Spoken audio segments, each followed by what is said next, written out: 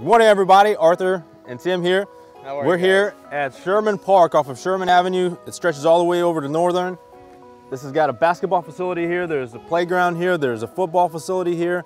The, the Buck Creek uh, is next door.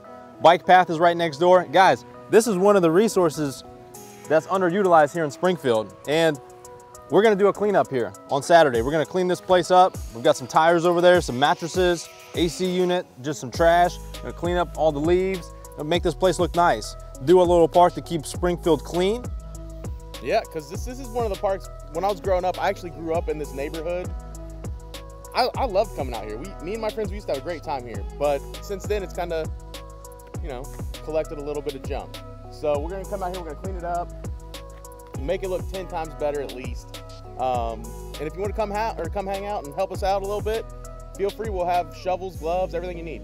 It's this Saturday from 11 to 2 p.m. Guys, we're also gonna have a, a separate cleanup at Inside Out Youth at 501 South Wittenberg Avenue. We're gonna have food, music. It's gonna be a cleanup. We're gonna go into out, go into the neighborhoods and clean up our local neighborhoods. Guys, help us if you're interested this Saturday from 11 to 2 p.m.